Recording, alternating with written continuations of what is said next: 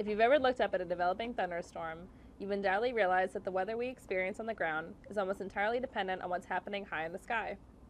So it makes sense that in order for meteorologists to be able to accurately forecast the weather, they must first know how conditions are changing in the atmosphere's upper levels.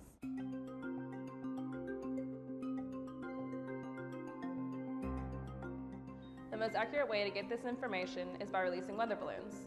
Twice per day at locations all across the United States and the world, weather balloons, just like this one, are released into the atmosphere. As they rise, weather instruments take measurements on temperature, moisture, pressure, and wind speed. This information is then sent back to the National Weather Service in real time, where forecasters analyze the data and make predictions based on what they find. The process of taking an upper air observation starts with the inflation of the weather balloon. The balloon is made of a thin layer of latex and is filled with either hydrogen or helium.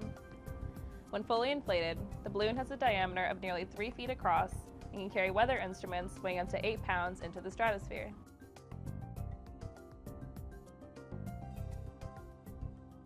Next, the weather instrument is added.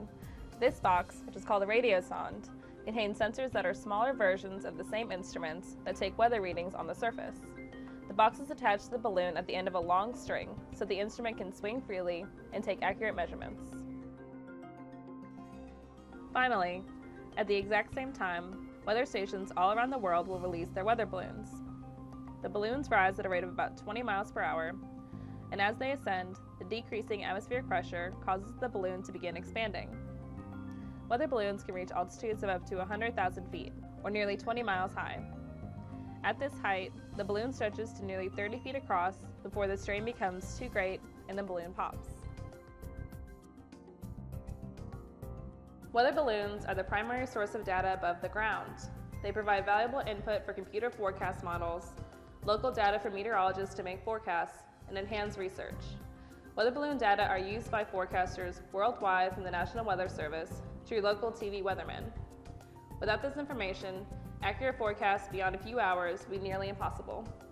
For the latest conditions and forecasts, please visit our website at www.weather.gov.